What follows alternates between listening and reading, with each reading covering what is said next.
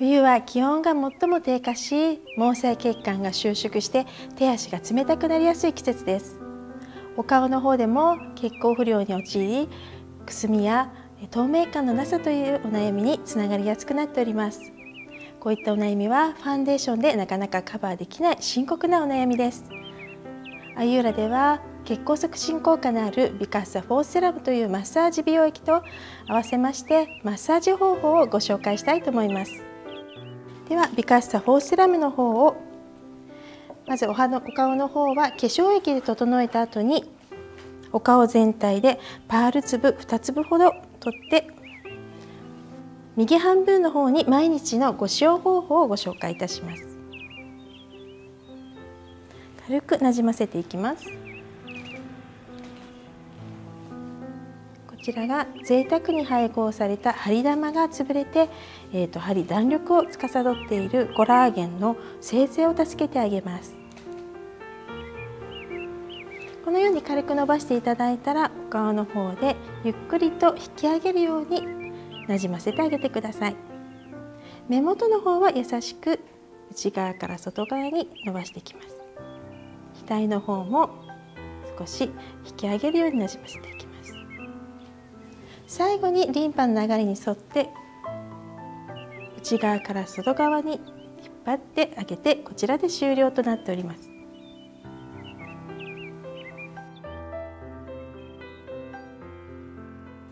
使用量は毎日のなじませ方の倍使っていきますのでお顔の半分でパール粒2つ使っていきます。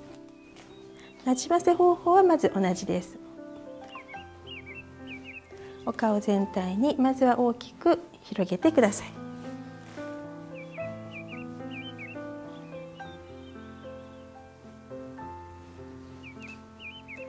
でプレートを使う時はお首の方まで。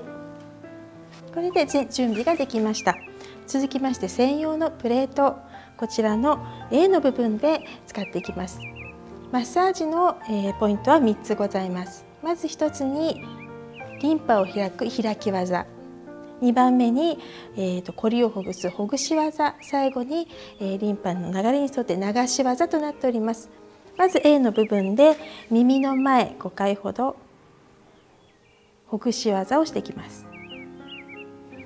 では自家線リンパの方も軽くほぐしていきます。最後に鎖骨の内側を外側に向かって5回ほどほぐしていきます。これでリンパが開きました。お顔の中心部から外側に向かってほぐしていきます。A を描くように軽くマッサージをしていきます。この際力を入れる必要は全くございません。えーと、眉の上。こちらも2回ほどマッサージしていきます。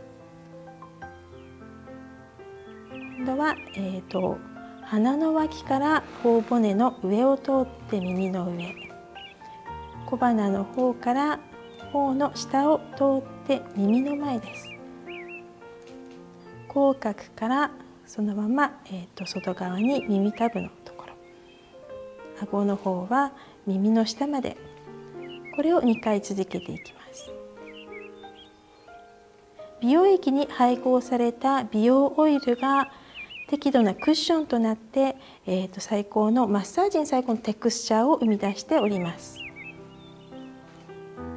続きまして頬の広い部分をマッサージしていきます。目の下から大きく円を描くように耳の下までマッサージ。これを2回しておきしていきます。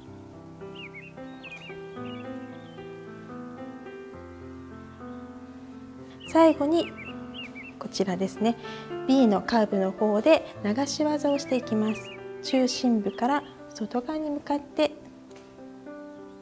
2回。方の方も伸ばしていきます。こちら3回ずつですね。